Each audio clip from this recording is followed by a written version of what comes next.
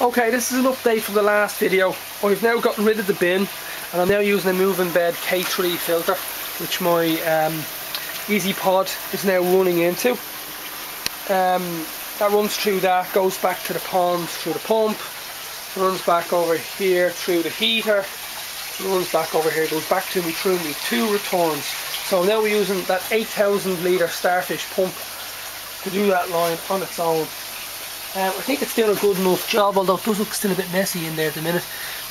Um, what I'm doing next is I have teed off my um, 4 inch bottom drain and it's also feeding this MIDI sieve here now as well. Now the reason I'm doing this video is because the MIDI sieve just is not doing the business and I've got a theory as to why it's not doing the business but it's not. Now if you can see down there there's water collecting at the bottom of the sieve and I'm not getting a huge amount of flow over that sieve compared to, I'm not really familiar with sieves, is the first time I've ever used one but from watching YouTube and so on I I think I should be getting more of a flow through that for it to be working properly. Like I should be getting water bouncing out like that at least. But um, I'm not. Now, why am I not? Well, questions.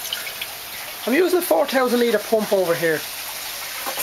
And with a 1.2, 1.3 metre rise, according to the box off that pump, it's a 4,000 litre pump. I should be getting around 3,000 litres of the flow, or thereabouts, through this protein skimmer. Now, as you can see, there's some dirt in that. That's for messing around with that save stuff getting through. Um, so, if I'm getting 3000 litres through that, is the pump too slow? Do I, do I not have a powerful enough pump to be running on this MIDI sieve? Or is it the case that I'm using a one and a half inch pipe as my feed to the pump? Now, it is a two inch connection on the MIDI sieve but the instructions don't tell me that I have to use a 2 inch pipe. It just says that it is a 2 inch pipe that you use. Um,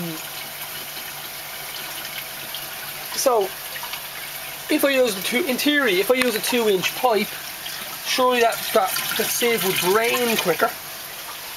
But my thinking is that if I use a 2 inch pipe all the way down to the pump and I feed the pump with a 2 inch pipe, surely I'd have to have a 2 inch um,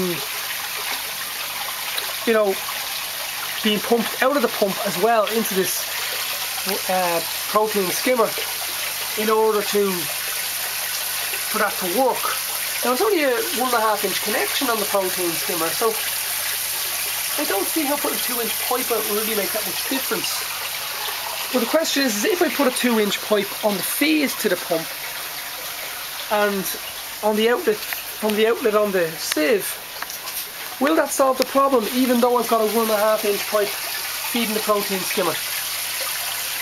My head is melted, completely annoyed from doing all this now at this point because I've been messing around like nobody's business, trying, spending a lot of money to try and get it all sorted out. So if anybody has any, anybody has any uh, ideas on how to solve this problem and what it is I should be doing, I'm all ears. Thank you.